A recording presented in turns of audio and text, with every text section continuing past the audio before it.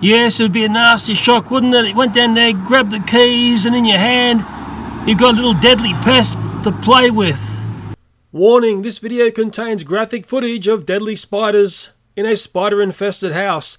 I'll also be investigating this comment here, which tells me WD-40 kills black widow spiders instantly, but can it kill redback spiders instantly? I just had this spider nest underneath this little solar panel and um, I've just been trying WD-40 as a bit of a test to see if it kills spiders and look what came running out from underneath that solar.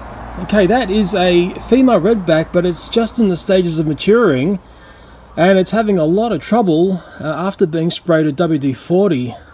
I also noticed that it might be a male redback spider there or a maturing female but I am curious whether the WD-40 is going to take her out. She's only small, but she's going to turn into a nasty little critter. And that's a curious one because she's right at the stage where she's just starting to display her red back uh, from growing up from being a spiderling. And we'll call her an adolescent redback spider. She's not really keeling over as fast as I thought she would. Give her a bit more spray there. See how that sorts her out. Yeah, well now she's swimming in WD-40 and she certainly doesn't like it. In fact, that might be the good night sister shot. She's drinking it up there. I don't think she's around for much longer. I'm actually working out my infestation problem is massive. Uh, these redback spiders are everywhere and there is a skin of her as she was growing. She's deployed her skin there. Uh, hopefully the WD-40 will get rid of these spiders. Yeah, she's reeling in WD-40 pain there. Maybe I should put her out of her misery. I hate to see her suffering, wouldn't you? If I just squish her on the back there, it'll be definitely good night, sister, Mrs. Redback Spider. Now the one thing about WD-40 is I'm pretty sure it makes it quite an uncomfortable area for spiders. But as for something that delivers a lethal uh, dose very fast, well, I've got to do some more experimentation. Okay, I have to be quick here. We've had power blackouts and whatnot. This is the control box up the front of our house that controls the gate. This is an area that I had sprayed with chemicals, a lot of chemicals inside this box here and underneath to get rid of a redback spider which was flushed out of water.